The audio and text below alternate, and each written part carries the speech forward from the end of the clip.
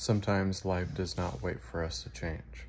Sometimes life is waiting for us to change, waiting for us to grow, waiting for us to really encompass a newfound relationship within ourselves.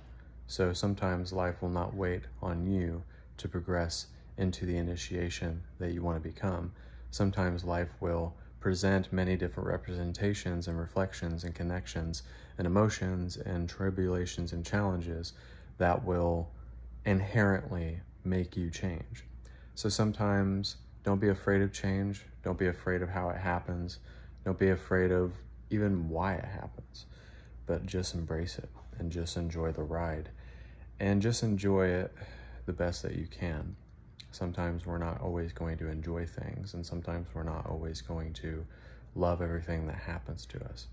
But sometimes, because of the very fact that it is happening, it could be a blessing in disguise.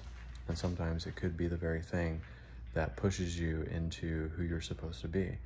And sometimes we can feel as if the world's against us, which is not a real thing. And sometimes we can feel like people are against us, and that's not a real thing either.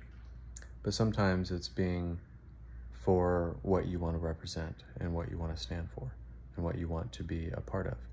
So if you don't want judgment in your life, if you don't want ridicule in your life, if you don't want unnecessary things happening in your life, then don't attract that to yourself and also don't promote that. You know, don't tolerate it. Don't resonate within that energy. And sometimes the greatest eye opening experience can be the very fact that we just do it. Just change. Just ask that person out or get that new job. Or could be just wanting to help people with your gift. And it doesn't matter what it is. I think sometimes we overcomplicate things because we feel like we have to make it depth and complex and extravagant. And sometimes being simplistic can be the very thing that helps you become who you're supposed to be. You know, sometimes just being plain Jane, it can be the best thing. So I love you guys. And I hope everybody who's ever received one of my videos has been blessed by it, has been, you know, touched by it in some way. And that's really all of what I've ever done. Rather, it was doing any of my videos, any type of video, is really just you being blessed by it.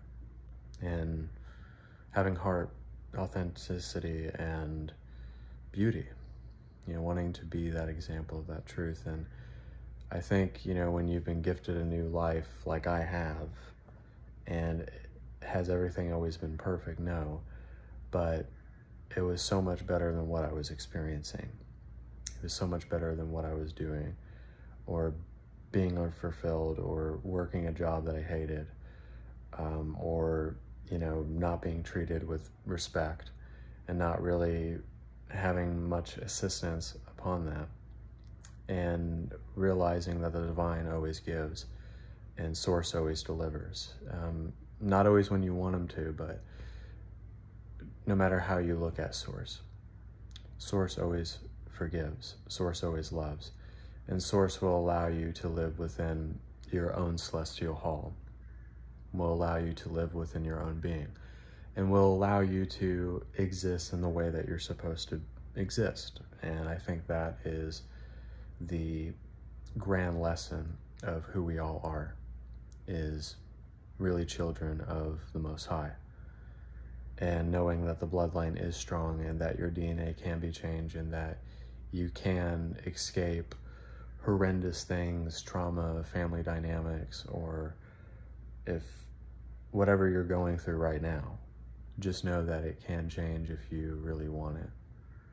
And that everything can change in your life if you just ask. Sometimes it's looking for it, sometimes it's seeking it out, sometimes it's growing within that, and um, sometimes it's not always pretty, but it always gives us the utmost grace and wisdom and love and power. Feel empowered to live a different existence. You know, be yourself. Do what inspires you. Do what lifts you up. Do the things that make you feel amazing. And do the things and have friendships and relationships that actually matter. Um, we are a soul and we're not possessed by anything, owned by anything, or have to be indoctrinated by anything. And I think that's the greatest lesson I've ever learned, not only within myself, but just with everything that I've went through um, to be the person that I am today. And I'm not ashamed of that. And I don't think any of you should be ashamed of that either. Be yourself and know that we're not condemned or judged. But every day is a sense of redemption. Every day is a sense of upliftment and connection to who we are. And it gives us the gift of life. And sometimes the gift of life doesn't feel like the gift of life, but it is. So I, I love you guys, and I wanted to make this video real quick.